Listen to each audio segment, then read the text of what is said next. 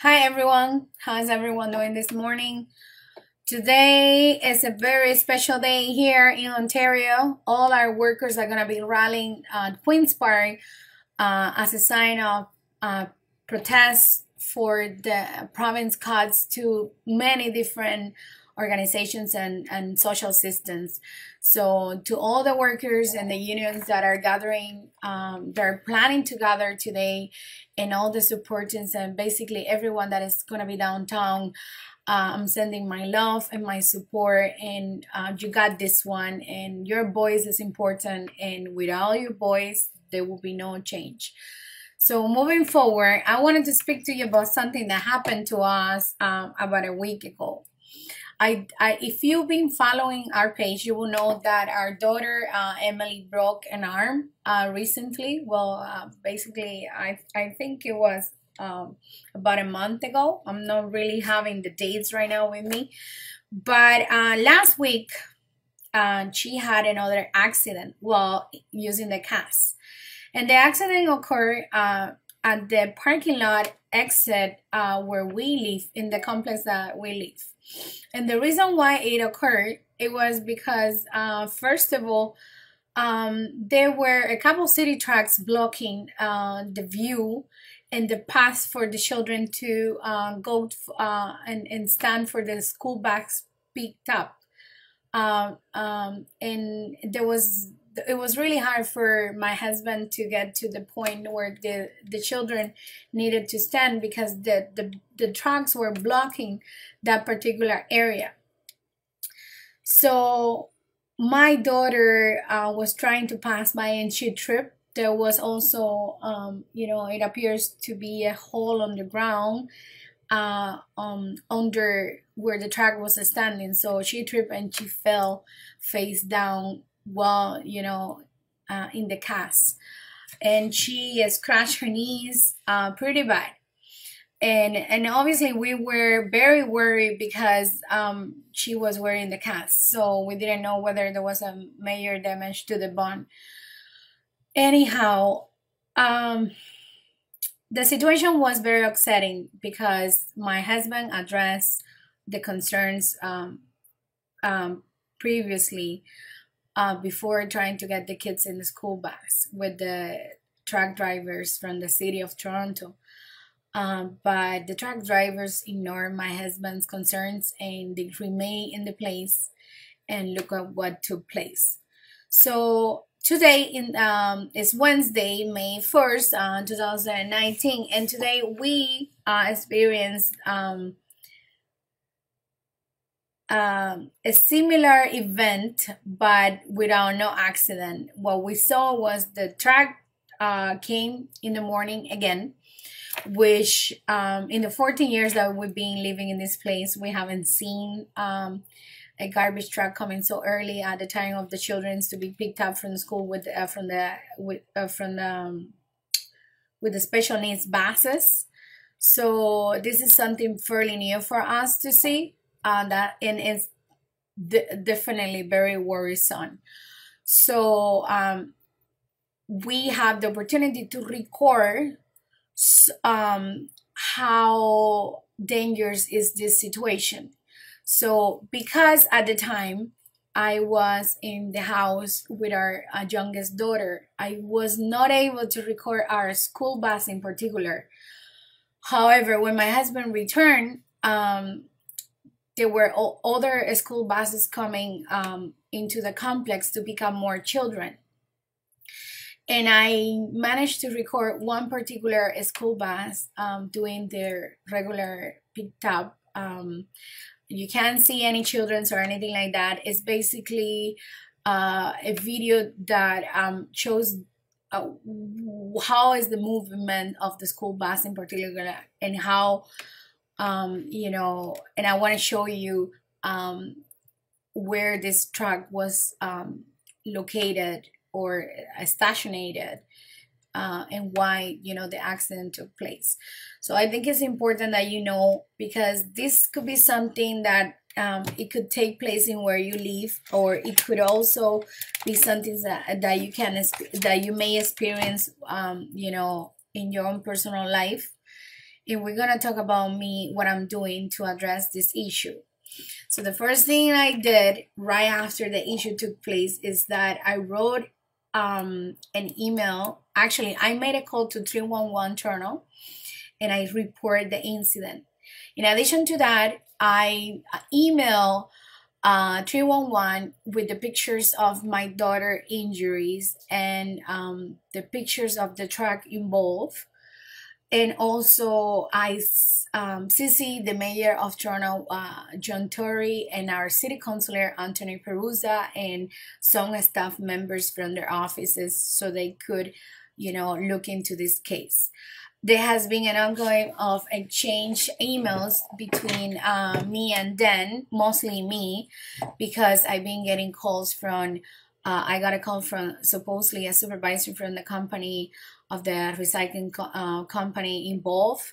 Uh, however, the person didn't um, introduce themselves with a name, a first name and last name, or a title that um, they had within the company. And just recently, yesterday, I got another call from uh, a supposedly supervisor from the city of Toronto uh, trying to address the issue, but again, no names were provided or last names, and or, or titles of uh, you know uh, um, professional titles. So that's something that number one thing that you need to know uh, is this. So the le- the lesson for today is the following: when something occurs uh, that has to do with your children um, or yourself.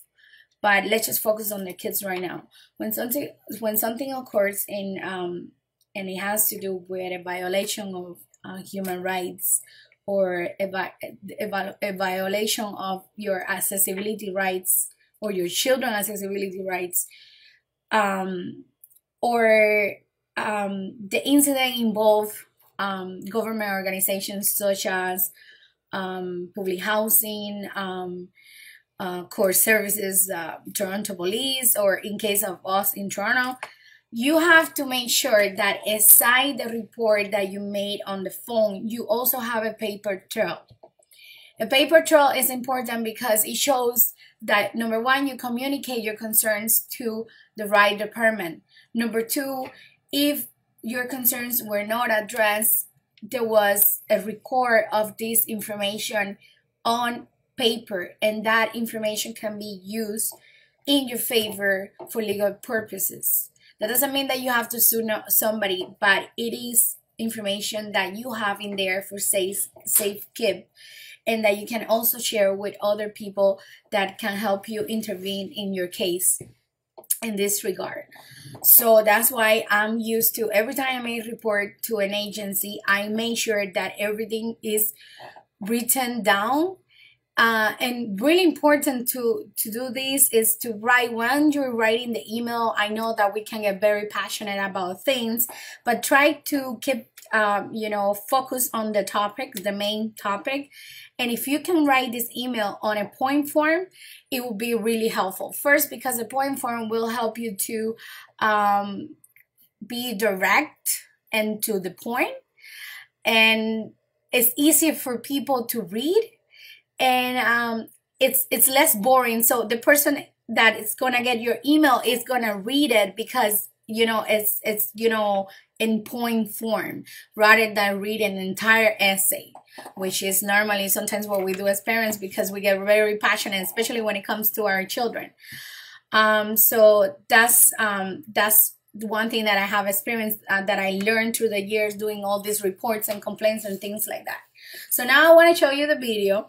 So you see, I have another video that my husband record in where we see uh, the this track, the one that you're gonna see in this particular video, backing up on a, in a specific um, entry and exit point where my kids actually stand when they're waiting for the uh, school bus.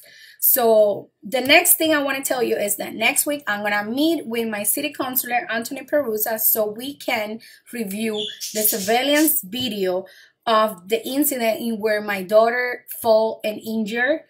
Um, and also so we can review these videos that we just record. I had requests for city council to look into this matter personally because I think that aside uh, this issue affecting my family. It's also um, a safety hazard for all the children in this complex that are special needs and they they have buses coming in into um, into this uh, place to pick them up or drop them or drop them off from school.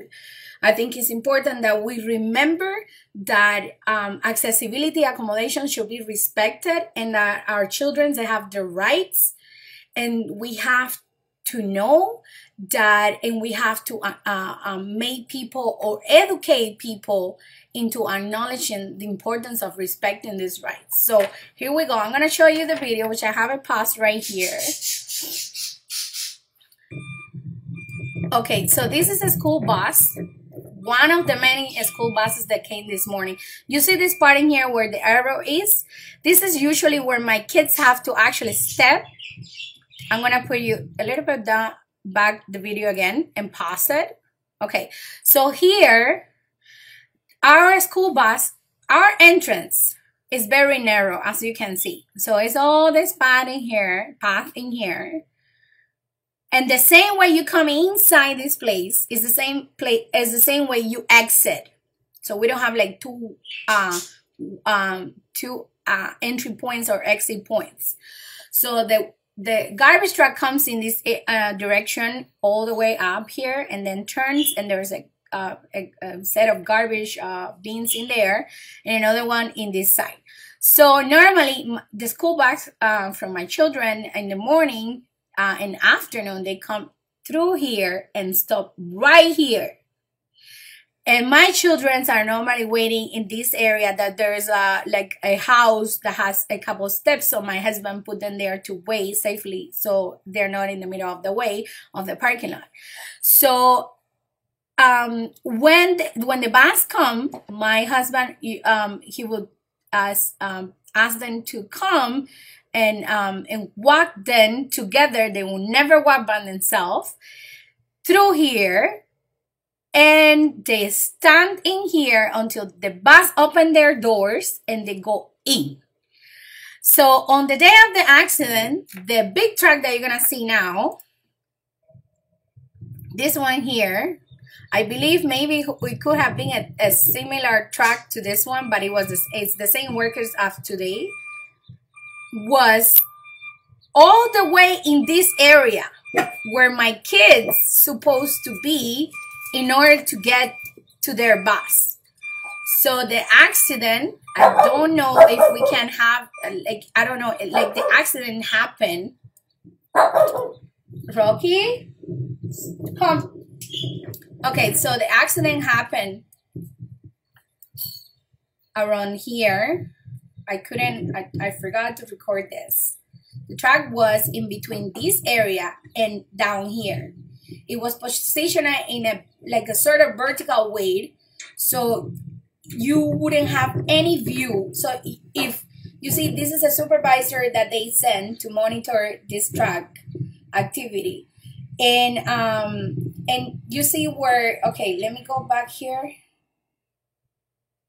where this lady just passed by. I don't, I'm not sure if we get that particular area. Um, so the, the track was like that, like from here to here, sort of. So the bus didn't have um, way to go in and park in there.